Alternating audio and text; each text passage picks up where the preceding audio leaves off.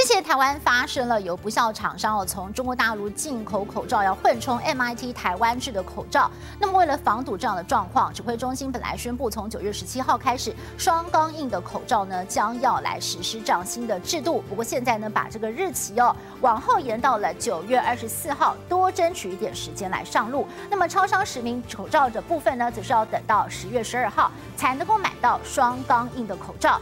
而为了要防止新旧标示造成混乱，那么指挥中心呢也同步拍板，要恢复全数征用国产医用口罩。等到市场的供应稳定了，这个双钢印口罩呢都可以拿到之后，才会改为定额征用，开放厂商自由买卖。不过，却有厂商抱怨呐，说这个公告来得太突然了，他们到现在都还没有收到公文，而且已经接到了订单，也不知道该如何处理。机台不停运转，古轮在口罩上逐一打上 MIT 跟 MD 医用钢印。原本公告像这样的双钢印口罩，十七号就能买到，但现在时间延迟了。荷兰工厂端要更换滚轮，物流端还有通路端也需要作业时间，民众得等到二十四号才能在药局买到实名制双钢印口罩。抽商方面则要等到十月十二号。滚轮的，哦，就是我都真没去。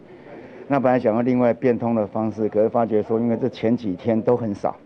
一直到礼拜六才有一百六十八台才会进会进来，到今天好二十八，这显然是没有办法。除了双钢印延迟，从二十四号开始，国产医用口罩也将恢复全面征用。等到药局跟超商都可以稳定供应双钢印口罩后，才会重新开放自由市场买卖。突如其来的震撼弹让业者措手不及。还没看到那个公文。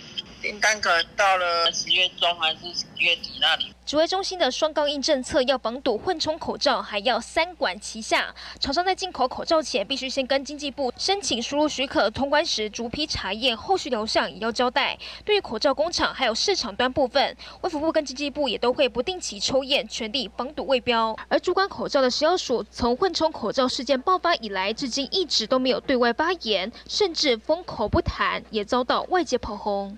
和人讲都可以，只是他们习惯叫我讲了哈。另外就是那时候是为了要统一哈，让他能够定调。部长如今都快变成食药署发言人，也难免会被质疑是否人为一言堂。就听我们审听报道。